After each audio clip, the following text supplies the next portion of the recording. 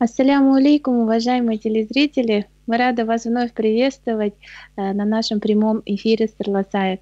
Сегодня э, с удивительным гостем и удивительной темой э, мы рады вас приветствовать на нашем прямом эфире.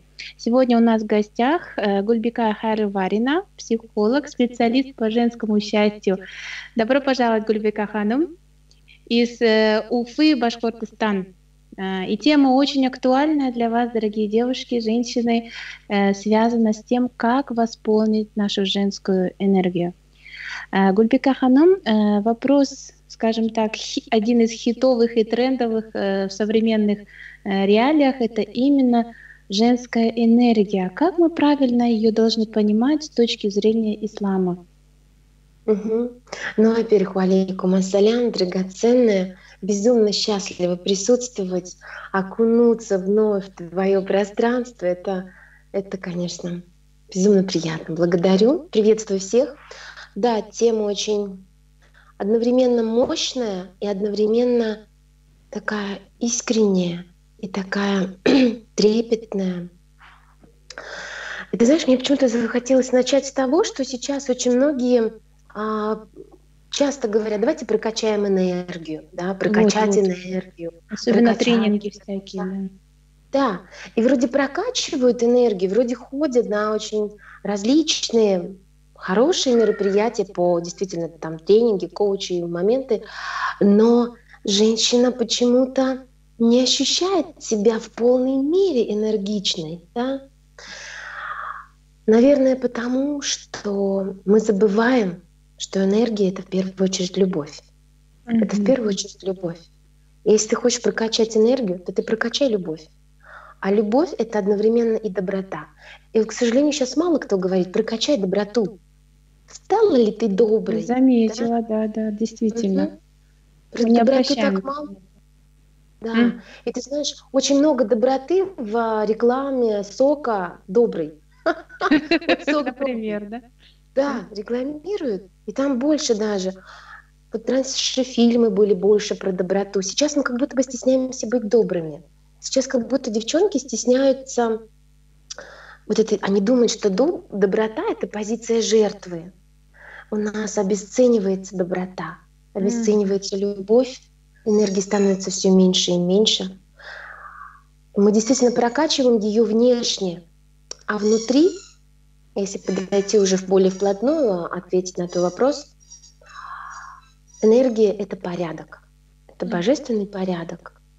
Когда, безусловно, энергия — это божественная субстанция. И когда Аллах на первом месте, то все становится на свои места. Мы сейчас очень много поклоняемся блеску. Вот есть даже такое понятие, знаешь, депрессия блеска. У человека есть все у него есть все, но у него депрессия, представляешь? Угу. Нет какого-то внутреннего спокойствия, да, Гульбекахан?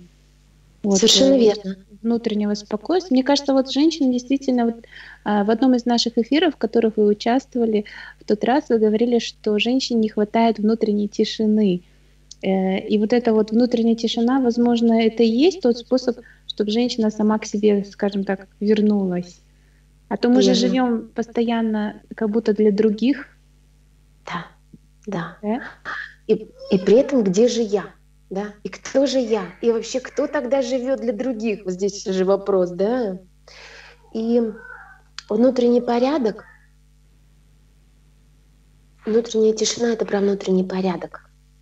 Mm. Когда ты любишь Бога больше всего на свете — Угу. Больше мужа, больше детей, потому что понимаешь, что это все от Всевышнего, и это же все на прокат. И когда ты живешь, вот оно жить ради Аллаха. Очень многие говорят, я живу, ну там, помоги мне ради Аллаха. А на самом деле ждут взамен, ждут чего-то, ждут хорошей реакции, ждут благодарности, ждут приветливости, ждут, чтобы в следующий раз им помогли. И где же здесь ради Аллаха? Угу. И пришло время пришло время приходить в себя, уходить действительно в себя, обнаруживать вот эту тишину, внутренний порядок и любовь. И любовь.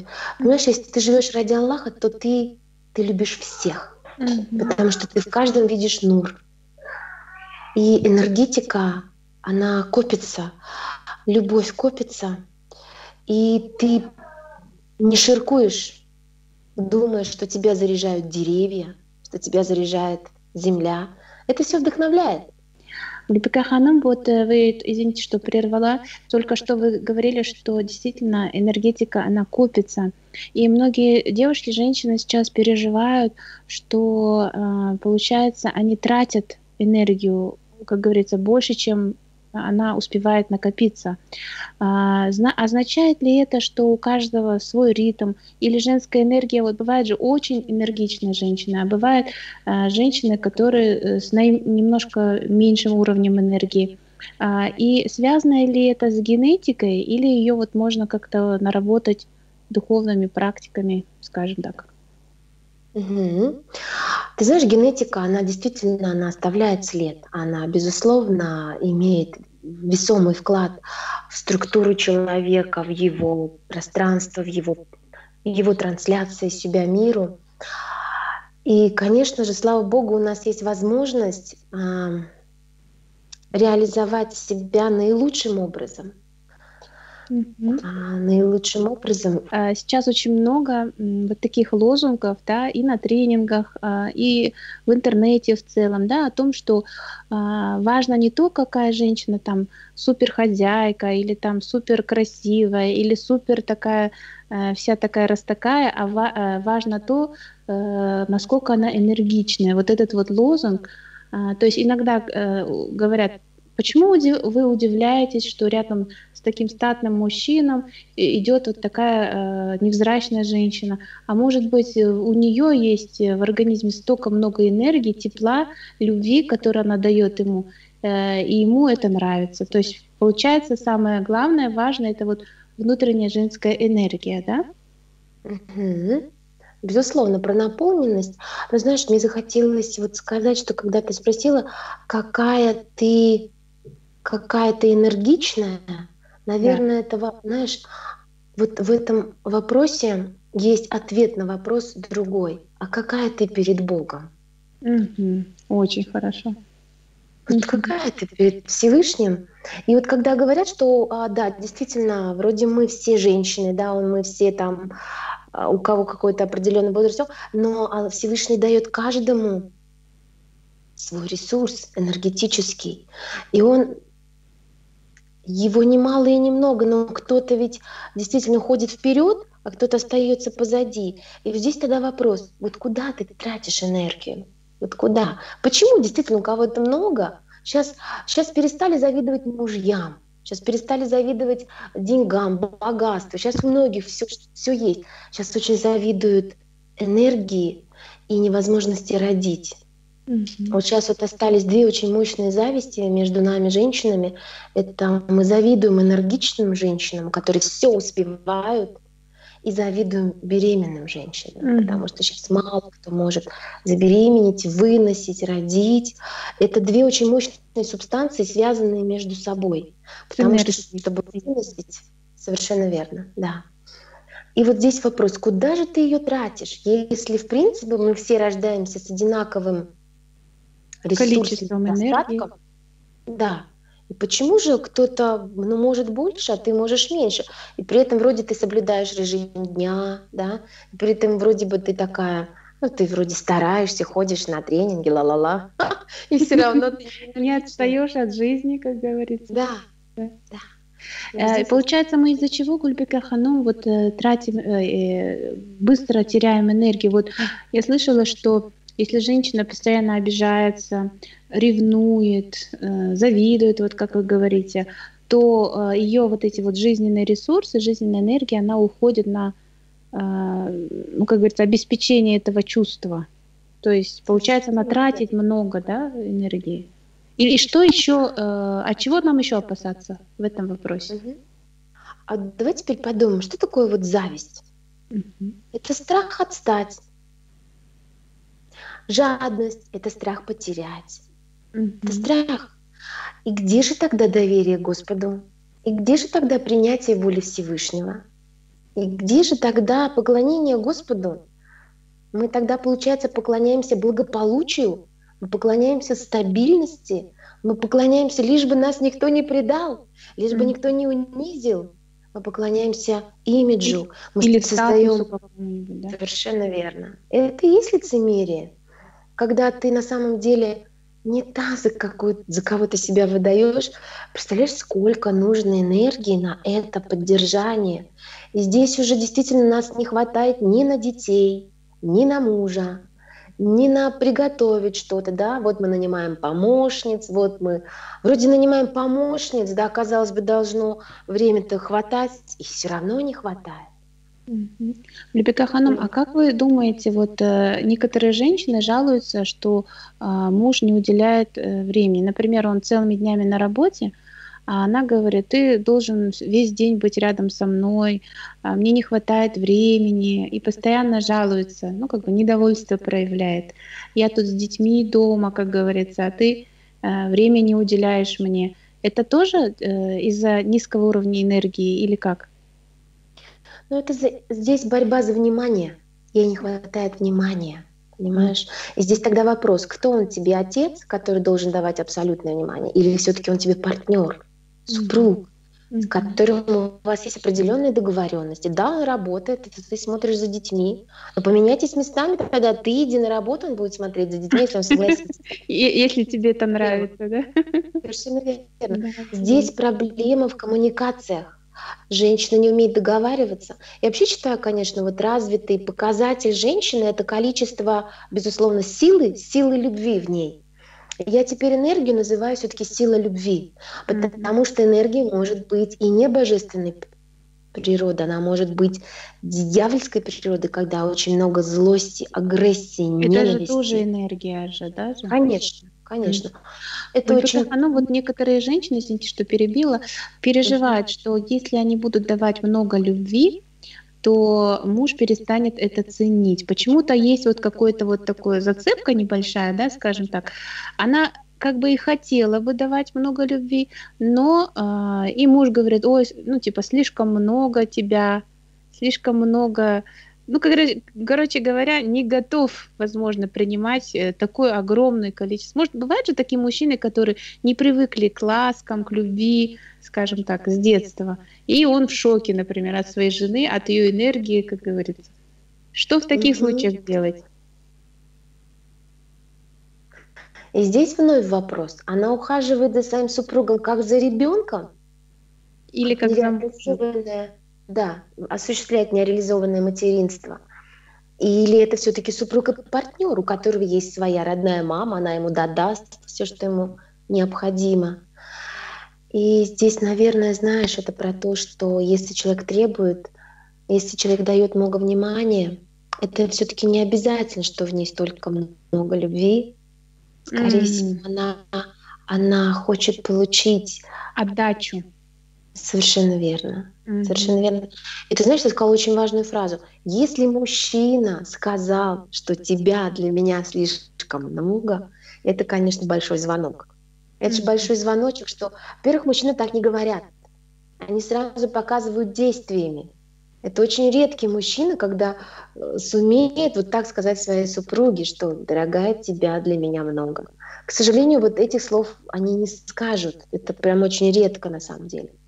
Но это большой звонок, что надо в себя вкладывать. Вот, понимаешь, пока в тебе мало любви и мало энергии, что ты сможешь дать другим?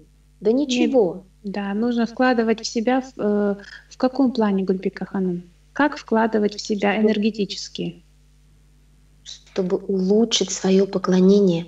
Поклонение счастливой женщины, наполненной любовью, отличается от несчастной женщины. Mm-hmm, mm-hmm. разные поклонения. И, наверное, несчастная женщина, она и не торопится поклоняться. Mm-hmm. Она и не бежит. Ну, по mm-hmm. сути, не... вот поэтому же сказано есть хадис. А, не уподобляйтесь, женщины, которые уподобляются мужчинам, будут прокляты. Проклятая mm-hmm. это несчастная. Это несчастная. Хорошо. Недавно, знаешь, посмотрела эфир, а, Екатерина Варнава, такая очень интересная там какая-то на телеведущая, она сказала, она сказала, почему вы так выглядите? Она говорит, она говорит, да что вы не видите, что ли, я же несчастна. Вы понимаете, я несчастна, я одинока. Это вот я впервые услышала, чтобы женщина так честно призналась. Гульбека Ханум, такой вопрос здесь э, нам поступил. Э, бывает ли так, что у женщины, наоборот, мужская энергия, а, а не женская? Э, то есть подразделяется ли энергия на мужскую и женскую? И от чего бывает, если у жен... от женщины прет мужским, мужской энергией? Угу. На самом деле это вопрос следующий, перевод. Что делать, если женщина очень часто транслирует себя по-мужски? Угу, угу, Правильно? Да, это же да, вопрос. Угу. Да. Это знаешь, и здесь все-таки, ну, я не знаю, как ответить на этот вопрос, если не вернуться в детско-родительские отношения. Посмотри, вот когда ребенок рождается, он младенец, и он полностью в сфере влияния матери. Но через некоторое время, когда он ползает, он обнаруживает, что у него, у него есть еще и отец. И он понимает, что там совершенно разные структуры, э, разная энергия, все по-разному. И в какой-то период времени, да, где-то с пяти лет ребенок идет в сферу влияния отца. И до подросткового возраста, например, берем девочек, девочка возвращается вновь на женскую половину и находит свою собственную сексуальную идентификацию, идентичность. Mm-hmm. Когда mm-hmm. она женщина, когда она может себя обозначить, что я девушка, да, вот я цвету, я проявляю себя в мир как женщина. И вот женщина, которая транслирует в себе себя как по-мужски, у нее не осуществился вот этот переход. А по каким-то причинам это вот про папиных дочек, это вот про вот этих вот холодных королев, mm-hmm. это вот про это. Когда она все еще в сфере влияния отца, а ей уже 40. Mm-hmm. Она так и не перешла на женскую половину. Она так и не приняла маму. Она ее осуждает, она ее обучит, как надо жить и так далее. И вот здесь нужен переход. Нужно Идентификация с женщинами, скажем так, да, э, в, своих, в своем роду, скажем так, да. Э, спасибо большое. Тут у нас э, как раз к слову задают такой вопрос. Здравствуйте, а как тогда полюбить себя? Я мама четверых детей. Вот такой комментарий. Верю. Устала женщина, да, видимо. Скорее Хотя, казалось бы, мы все так хотим детей, так просим, так просим, потом, когда Всевышний дает, а мы не знаем, что с этим делать, да, и где взять энергию. Да. Полюбить себя, любимые, это полюбить свою судьбу. Это полюбить то количество ресурсов, которые у тебя есть. Это полюбить то генетическую, генетическое наследство, которое у тебя есть. Взять от родителей столько, сколько они смогли дать. Это как, знаешь, вот если возьмем чашку, да, да, у кого-то чашка, чашка поменьше, у кого-то побольше, кому-то родители дали много, кому-то мало, но ведь ты с, этой, с этой чашкой можешь много раз приходить к своим родителям. А мы почему-то думаем, что только один раз пришли, да получили и все. Как раз таки не стесняйтесь приходить к родителям и брать, брать столько, сколько вам нужно, потому что вы же передаете это дальше – Mm-hmm. Если есть вот какой-то блок, то потом у вас с вашими детьми будет блок, ваши дети будут блокировать свой приход к вам. И mm-hmm. здесь, конечно, нужно убирать гордыню и приходить к родителям не как большие, да, особенно если родители, например, ну, были необразованы или не занимают какого-то положения, а вы вдруг стали образованным, вдруг, да? Да, очень, здесь вдруг. очень важный момент. Вдруг. Свалилось с неба, скажем так, да? Совершенно верно. И вдруг вы стали образованным и каким-нибудь там очень высокостоящим, ну, да, по положению. И вот подойдите к родителям как бебеки, как маленькие. Уж опустите голову уж на чуть-чуть, да? Вот этот карантин, что он с нами сделал? Он же сделал нас скромнее, ты понимаешь? Он остановил нас как бы, да, немножечко. Да? Как мы стали Угу, замечательно, Гульбека Ханам. У нас еще такой вопрос интересный. А, а как мужчины чувствуют, что в женщине очень много энергии? У них что, радары есть? Совершенно верно. Да, представляете, у них действительно есть радары. Знаешь, они больше что чувствуют? Они чувствуют, какая это энергетика, какого качества. И если это высокоэнергетическая женщина с высокими вибрациями, то она для него безопасна. Она безопасна для того, чтобы он стал успешным, богатым. Она не будет его а, блокировать. Совершенно верно. Она выдержит его богатство, она выдержит его успех, она выдержит его а, успех среди других женщин, да, это же нужно уметь выдерживать. А когда ты сможешь это выдерживать? Когда в тебе много любви к любым другим женщинам. Когда к тебе много, у тебя много любви к другим женщинам. Когда сама когда... себя... Совершенно верно. Любишь. Когда ты полюбила маму, mm-hmm. когда ты любишь маму, безусловно. Тогда все, ты принимаешь себя. Вот она идентичность. Mm-hmm. И ты любишь, считываешь других женщин как прекрасных, Соратника. добрых. Да. Совершенно верно. А не конкурента, да? Вот э, я слышала, что женской конкуренции не существует Гульбика Ханом. Как вы на это смотрите? Вообще в природе, как говорится, ее нет, потому что конкуренция это более мужское, скажем так, да, качество. Совершенно верно. И все-таки женщина, которая транслирует себя больше по-мужски, для нее конкуренция существует, конечно же. Конечно. Только она конкурирует не только с женщинами, с мужчинами, кстати, тоже. Такой вопрос. Э, почему всегда внутри тревога и страх? И влияет ли это на энергию? Да, да, это же неприятие воли Всевышнего. Это же страх, что «А что завтра будет?» Понимаешь, когда ты доверяешь Богу, когда ты поклоняешься наилучшим образом – Тебе за радость то, что завтра будет, потому что тебе не важно, по сути. И вот к этому мы должны приходить вновь и вновь, каждую секунду возвращать свое намерение. Кому же мы служим, кому же мы поклоняемся? Деньгам, успеху, там, стабильности, семейному счастью, семейному благополучию или Богу? И если мы Богу поклоняемся, то тогда Его воля, она проявляется каждый день, каждую секунду во всем. И наша задача принимать с миром, принимать, дорожить, почитать, любя идти дальше. И вот тогда энергии становится все больше и больше. Потому что в первую очередь, вот ты говоришь, что делает наш, нас энергичной. Первый этаж, который, ну, который мы проходим для восполнения энергии, это мировоззрение. Это правильное мировоззрение. Это порядок в голове. Что бы ни случилось, альхамдулилля, Обожаю, как Абу Ханифа сказал. У вас пропали там 100 тысяч баранов. Альхамдулиля. Ой, нет, это не ваши бараны. Альхамдулиля. Все, брат. Во всем есть э, то благо, э, которое Аллах нам предопределил, правда же? А, Гульбека Ханум, э, вы знаете, вот такой вопрос. А, почему после родов а, у женщины резко снижается уровень энергии? С чем это связано? Ну, конечно же, это гормональная перестройка, безусловно, это имеет место быть, конечно. А, истощение по-своему, да, произошло, ну, крупнейшее событие, да, родился ребенок. И вот здесь, конечно, нужно копить, конечно, уже, да, уже вкладывать в себя, наполняться, наполняться.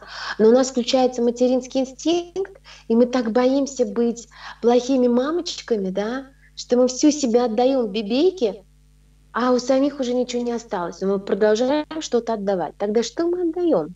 Спрашивается mm-hmm. вопрос.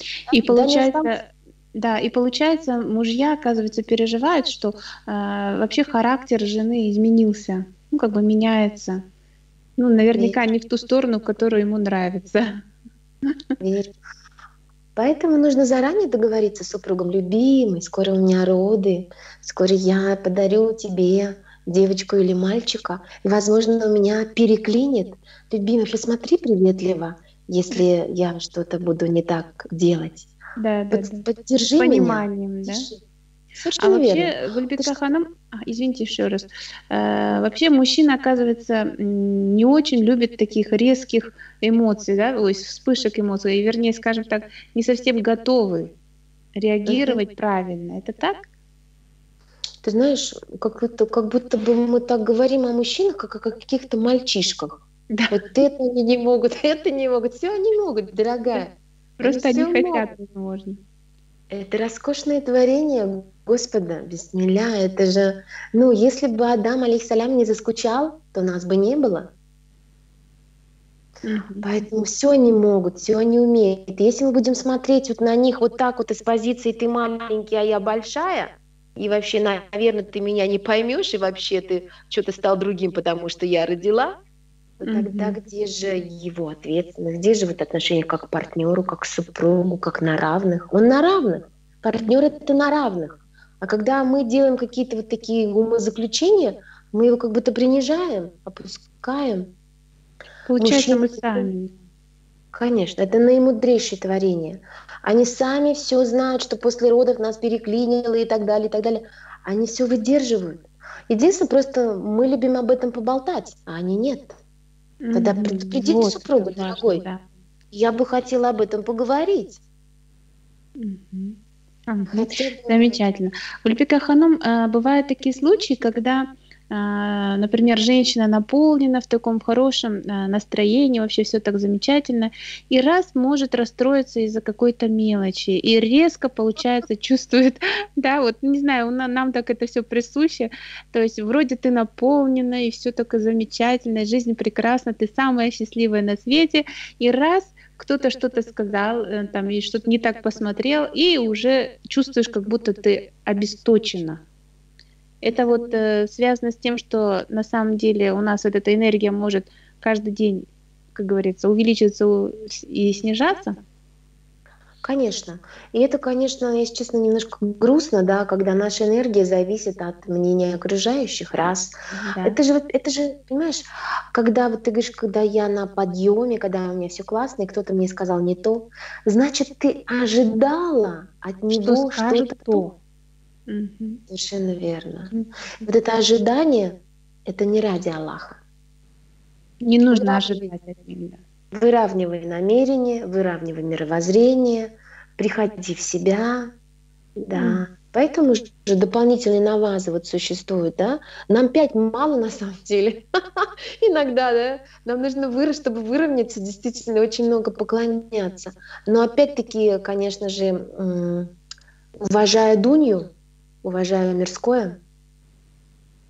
Угу, замечательно, спасибо большое. Не зацеплялись, вот все-таки можно добавлю, не зацепляясь, не загоняясь по мирскому, а уважая. А, Гульбега Ханум, а как все-таки восполнить женскую энергию? Вот э, очень много сейчас э, и в интернете, и везде всевозможные практики, техники, и девочки на самом деле теряются, потому что э, особенно вопрос такой мучает, а противоречит ли это шариату, вот всякие эти техники, а, и что вообще в эти техники входит, скажем так, и так далее.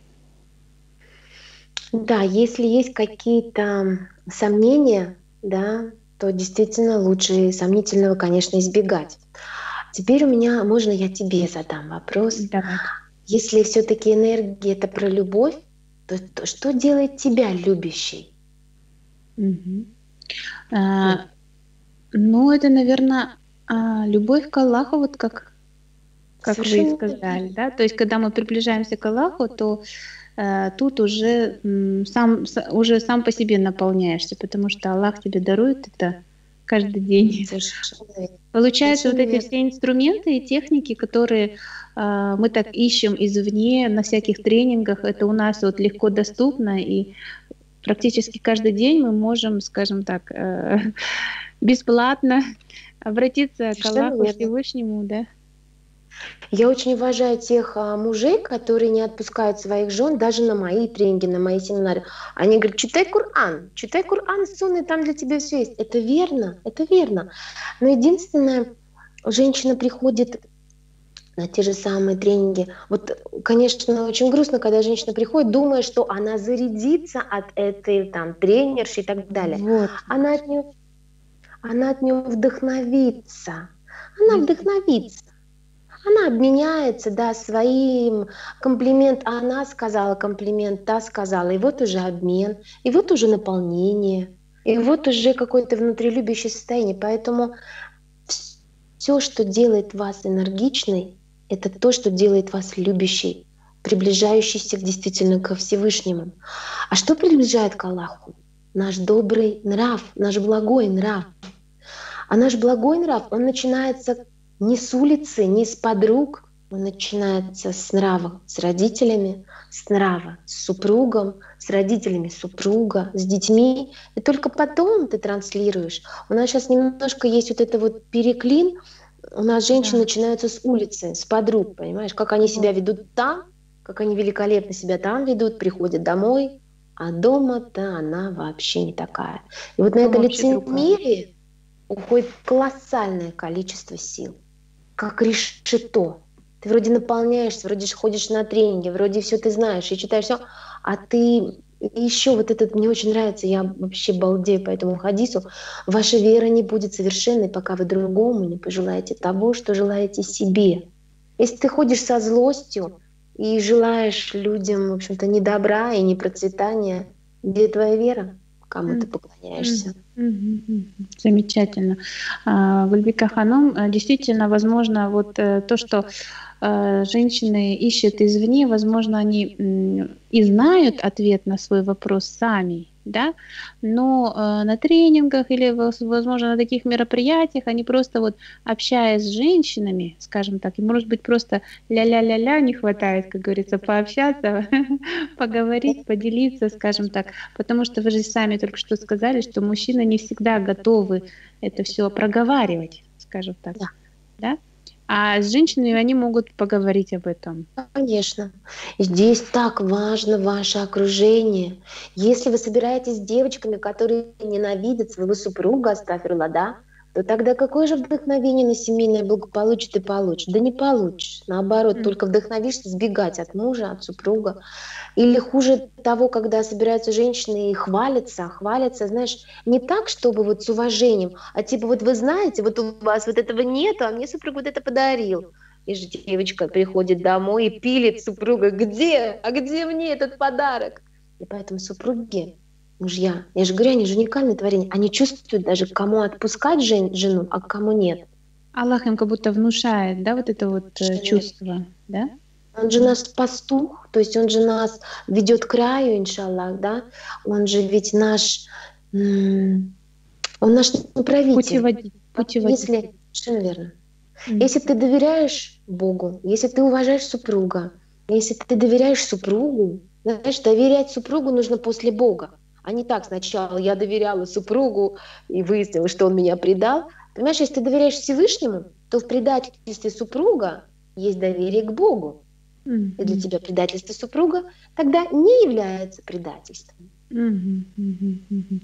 То есть мы должны, скажем так, не от мужа ждать, а от Аллаха всевозможные вот блага и защиту. Липика Ханум, знаете, вот эм, действительно очень а, такое удивительное сочетание получается, что действительно женщина, она как бы и рада была бы а, все это вот проговаривать, да, но вот а, у знакомых есть случаи, когда тоже обращались с вопросом, что э, мужу, если что-то такое вот, ну ты молодец, вот ты всегда прав, если только на такие темы он разговаривает.